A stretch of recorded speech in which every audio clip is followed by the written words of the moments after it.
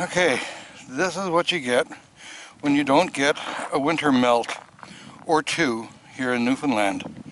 Normally, what we get is a nice patch of weather a couple times during the winter where all of the snow melts, or pretty much all of the snow melts. But although we got our winter rather late this year, that is sometime in the middle of January, I shouldn't say winter, it was colder before that, we just didn't have any snow. And so the snow came rather late. And so we thought, oh great, we're not going to have much of a winter this year. But as it turns out, that wasn't the case. And see, under there somewhere is our house, of course. And you can see Shane, our, the guy that clears our driveways for us, uh, he's having a struggle putting snow in different places. And you can see over here, this is normally a nice sized turnout, and it's just a mountain of snow right now. So that's our house over there.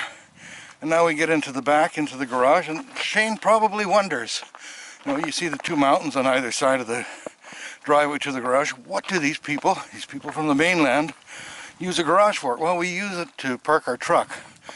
Most Newfoundlanders, and probably for good reason, don't do that very often with their vehicles because they end up being buried in their garages and it takes them forever to dig them out. Well, we have a guy that clears the snow for us, but there you can see the birds are enjoying food. Sylvia's already put some stuff out for them. But there, there you go. No basketball today, by the way.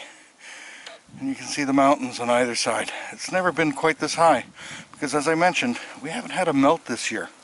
All we've had is snow.